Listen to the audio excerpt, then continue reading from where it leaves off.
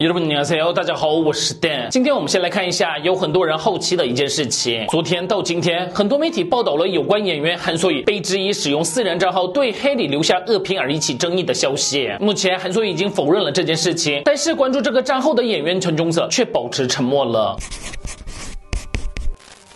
首先给大家说明一下整个事情的经过。十月十六号，在黑里的官方 IG 上出现的一个算命账号所留下的恶评，引起了网友们的关注。该账号的运营者发表了多则贬低黑里的恶意留言，如“你那个姐汉宇 Junior 加起来也比不上韩所宇”，一开始就以为能凑到一千七百万粉丝，这智商水准。因为韩所宇的关系，黑里获得了那么多赞，应该很开心吧？虽然现在都掉光了。根据很多媒体报道，被视为韩所宇最亲密的朋友之一的演员陈忠策关注了这个账号。该该账号于今年三月创建，正是韩穗与演员吕俊尔的恋爱传闻爆发，以及吕俊尔被质疑换成恋爱的那个时期。而这个账号的头像，让粉丝们更加怀疑该账号就是韩素宇的私人账号，因为韩素宇曾于七月二号在他的官方 IG 上发布了同样的照片。所以整理一下媒体们的报道，就是该账号是在韩流绯闻爆发的三月开设的。这个账号常在黑里的 IG 硫酸盐，而那个时候该账号的账号名是这个。之后这个账号将账号名改成这个后，封面也换成韩素宇曾经在自。己的 IG 发布的图片，韩素宇的朋友和亲近人士有关注这个账号。陈忠泽在追踪人数只有四个人的时候开始，就和那个账号互相关注了。因为是非公开账号，所以必须得到彼此的许可才能关注。因此，陈忠泽不太可能是误按关注的。而且，韩国网友们也挖出韩素宇的造型师也在追踪这个账号，所以大部分的韩国网友们就认为，在黑里的 IG 留恶评的账号就是韩素宇的小账号。对此，韩素宇的所属公司发表声明，媒体上曝光的 SNS 账号。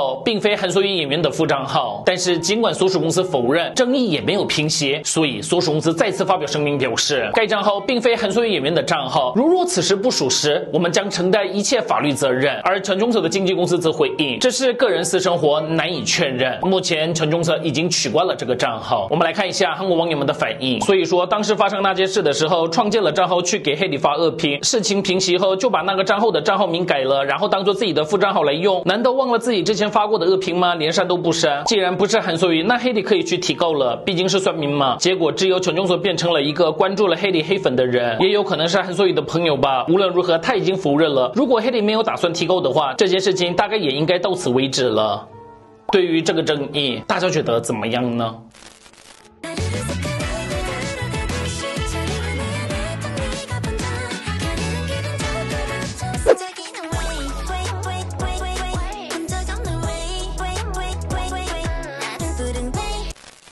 接下来我们来看一下引起争议的乔努炸鸡广告。乔努代言了一个炸鸡广告，但是整整三十一秒的炸鸡广告，炸鸡竟然只出现了两秒，而引起了争议。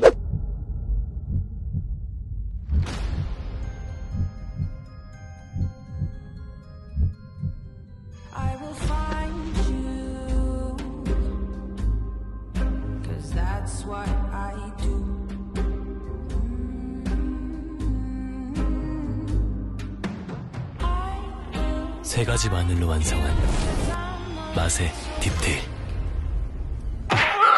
如果我是广告主，花大钱请来乔努了，就应该要靠他的脸来回本嘛！啊，真的太棒了！广告的文案完全说出了我的心声啊！光看他的脸就让人觉得炸鸡肯定很好吃啊！为了以后也让他能多拍这样的广告，让他续约，我要多点这个炸鸡来吃。所以大家也会想吃乔努代言的炸鸡吗？我想。啊，对。啊。